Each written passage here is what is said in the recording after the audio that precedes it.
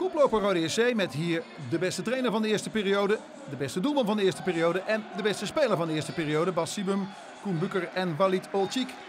Die koploper speelt thuis tegen de ploeg in vorm, dat is Willem II. Want sinds Peter Maas daar de eindverantwoordelijk is, heeft Willem II alle vier de wedstrijden onder zijn leiding gewonnen. Balverlies hier van Oesa. En dat blijkt heel duur balverlies, want de bal komt voor de linker van Thijs Oosting. En die scoort heel knap 1-0 voor Willem II.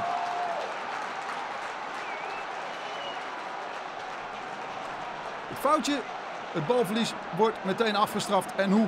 Oosting verrast daar Bukker in de korte hoek. En zo leidt Willem II heel knap met 1-0 bij Roda. Roda dat dit seizoen alle vijfde thuiswedstrijden tot nu toe wist te winnen.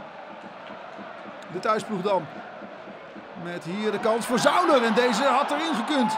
Maar Zauner maakt geen goed contact met zijn rechtervoet met die bal.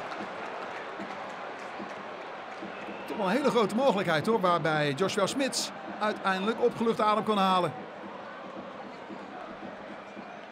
Half uur gespeeld. Hier komt Willem II weer. Dodeman. Hij mocht vandaag in de basis beginnen. En dan de controle en de bal op de lat van Ringo Meerveld zeg.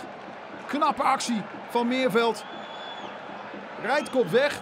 Meerveld vangt op met de rechterknie. En schiet vervolgens met rechts die bal tegen de lat. Daar ontsnapt Roda aan een grotere achterstand. Tweede helft dan. Met het schot voor Wesley Spierings. Had wat geweest als hij zou scoren tegen zijn oude club, de man uit Goorlen. Nu dus in dienst bij Roda. Sigurd Gerson dan weer. Lage voorzet wordt gemist door Bokila, die ondertussen in de ploeg is gekomen. En ook door Thijs Oosting. Een man die uh, graag natuurlijk ook zijn tweede had gescoord in deze wedstrijd. Maar het blijft voorlopig 1-0. En dan gaat de tijd dringen voor Roda. Het krijgt heel veel hoekschop. Het heeft een overwicht. Maar echt grote kansen krijgt het niet. Tot hier. Bangura met de kopbal in blessuretijd. Dit had misschien nog een puntje op kunnen leveren. Maar Bangura kopt over. En niet lang daarna volgt het eindsignaal van scheidsrechter Mark Nachtegaal.